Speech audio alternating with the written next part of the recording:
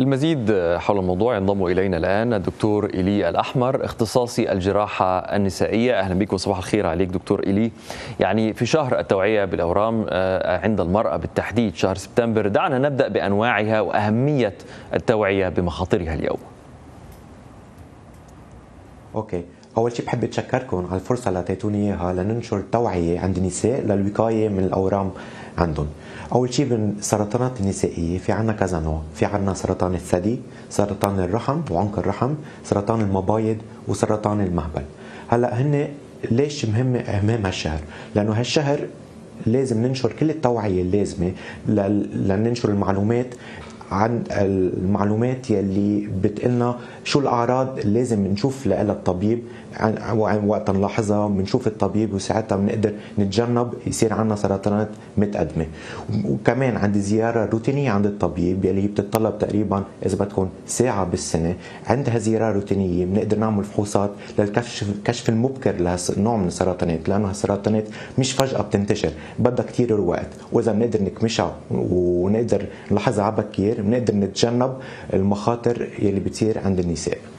طيب دكتور سرطان الثدي عنق الرحم كذلك المبيض كيف تتم الوقاية من هذه الأنواع من السرطانات؟ هلا بالنسبة لسرطانات عنق الرحم الوقاية بتصير منه هي من من خلال فحص الإزازة يلي مسحة عنق الرحم يلي بتنعمل مرة بالسنة. وكمان من خلال ال vaccine يلي تفضلت وحكيتي عنه يلي ال human papilloma virus يلي هو مسؤول عن معظم سرطانات عنق الرحم. ومن خلال مسحة عنق الرحم نقدر نقدر نشوف ونقدر نلاحظ حيلا التغيرات يلي معقول تؤدي لسرطانات عنق الرحم. طيب حاليا وفي منطقتنا العربية ومن خلال يعني واقع خبرتك ما هي نسب احتمال الإصابة بهذه الأورام النسائية وهل تحسنت هذه النسب مع مرور الوقت؟ هلا أكيد تحسنت لأنه هلا صار في وعي زيادة عن زوم كومبيرد لقبل عن كيفية الوقاية منه. هلا سرطان الثدي للأسف هو أكثر سرطان منتشر لدى النساء 13% من السيدات رح تنصاب بسرطان الثدي. يعني تقريبا سيدة من أصل 8 هلا بالنسبة لسرطان الرحم 26 سيدة من أصل 100 ألف رح تنصاب فيه. وسرطان المبايض تقريبا 11 سيدة من أصل 100 ألف رح تنصاب فيه. وسرطان عنق الرحم سبع سيدات من أصل 100 ألف رح ينصابوا بهذا النوع من السرطان. نعم.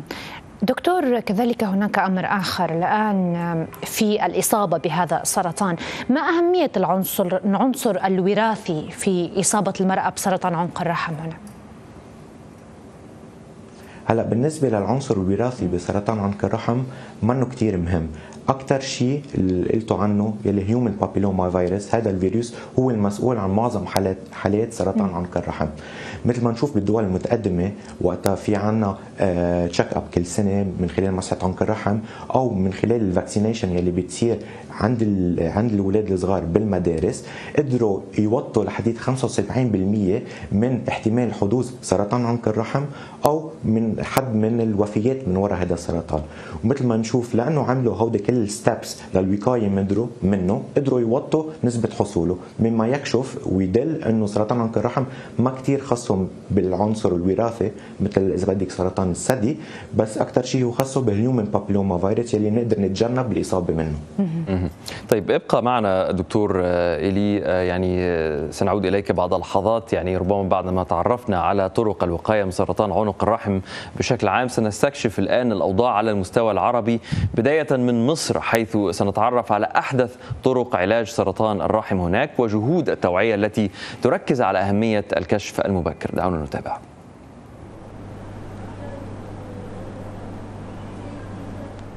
كان الانخراط في دروب فن التصميم خيار شروق الشمس في رحلتها مع الألم. رحلة بدأت بتشخيص خاطئ ثم تأكيد إصابتها بمرض السرطان. رحت لدكتور وشخص لي حالتي إن أنا كورونا واداني عقاقير وأدوية كتير جدا مضاد حيوي ودي اذت جسمي جدا. أنا ما كانش عندي كورونا اتشخصت غلط. وبعد كده رحت لدكتور استشاري شاطر ومع الوقت هو قال لي إن دي ما كانتش كورونا وإني أنا عندي يعني بوادر بتاعة الورم آه، في الغدة الدرقية. في خلال فترة علاجي طبعا كانت نفسيتي باظت خالص آه، واتدمرت من اللي أنا شفته طبعا على مدار ثلاث سنين. بدأت أجمع ما بين شغلي ودراستي وهوايتي. قصاد كل محنة بيبقى فيه حاجتين بنطلع بيها هي الدرس والبركة. الدرس اللي أنا اتعلمته إن أنا ما ينفعش بعد كده ما اهتمش بصحتي. لازم كل ست شهور يكون في كونسلت وكده لازم أطمن على أعضاء الجسم وكل حاجة ويكون في استشارة وهكذا. سرطان الثدي من أكثر أنواع السرطانات انتشارا بين النساء في مصر. وزارة الصحة المصرية قالت إنها استطاعت من خلال المبادرة الرئاسية لدعم صحة المرأة تقليل معدلات الحالات ذات المراحل المتقدمة من هذا النوع من السرطان إلى نحو النصف. سرطان الثدي طبعا بيكون من أشهر الأنواع السرطانات اللي بتصيب المرأة سواء في مصر أو في العالم بنسبة من حوالي 35% المبادرة لحد النهارده كشفت على ما يقرب من 20 مليون سيدة. أدى ده إلى إن إحنا قدرنا ننزل بالحالات المتقدمة اللي كنا بنكتشفها 60% نزلت ل 30% يعني حوالي النص. تعتمد مصر البروتوكولات العالمية في تشخيص وعلاج سرطان الثدي والسرطانات الأخرى ويوجد بها مركز معتمد من كلية الباثولوجيين الأمريكيين. نتخصص أكتر حاجة في سرطان الثدي بس بنعالج كل أنواع السرطانات. هنا في أحدث الأجهزة المتاحة ان ممكن الحاله اول ما بتيجي بنشخصها عندنا سواء كان histopathology أو كان ال cytology يعني عينة أو مثلا سحبة بالإبرة وبنحدد الحالة كده حالة يعني ورم خبيث ولا ورم حميد. نبدأ بقى خطة العلاج من التشخيص هنا. سرطان عنق الرحم ثاني أكثر أنواع الأورام انتشارا بين النساء ووفق منظمة الصحة العالمية تخضع أقل من امرأة واحدة من كل عشر نساء في مصر لفحص الكشف عن هذا النوع من السرطان الذي يمكن علاجه بنجاح إذا اكتشف مبكرا. رغم الجهود المبذولة على صعيد الكشف المبكر للأورام لا يزال هناك تأخر في اكتشاف المرض ويرجع ذلك غالبا لأسباب أسباب اجتماعية واقتصادية. ويؤكد الخبراء على أهمية التوعية والتثقيف للحد من مخاطر الأورام السرطانية على النساء. أميرة جد الله الحرة القاهرة.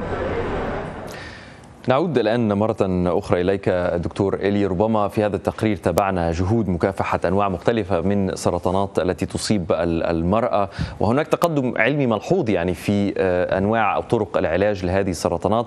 دعنا نتحدث عن سرطان عنق الرحم كمثال هنا. كيف يمكن علاج هذا السرطان؟ وهل هناك أي علاجات استثنائية لهذا النوع من الأورام اليوم؟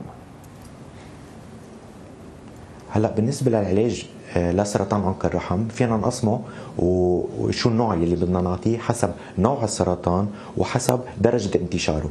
هلا في ثلاث أنواع للعلاج. في العلاج الجراحي يلي بيتطلب يا بينشال قطعة صغيرة من عنق الرحم أو عنق الرحم بحد ذاته أو إذا منتشر سرطان بشكل متقدم بنشال الرحم مع عنق الرحم مع المبايض مع الأعضاء يلي بتحوط بالرحم هلا كمان في عنا العلاج الكيميائي. العلاج الكيميائي يا بينعطى قبل العملية حتى نقلل من حجم الورم يا أو بينعطى أو بينعطى كعلاج كعلاج أولي بدون ما ينعمل جراحة لنقدر نخفف العوارض يلي بيسببها هالأورام.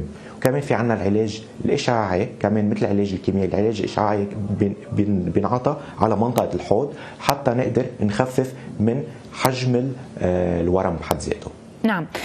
دكتور حكينا كذلك في البداية عن اللقاح ضد فيروس HPV من النوعين 16 و 18 واللي قادر على الحماية من سرطان عنق الرحم.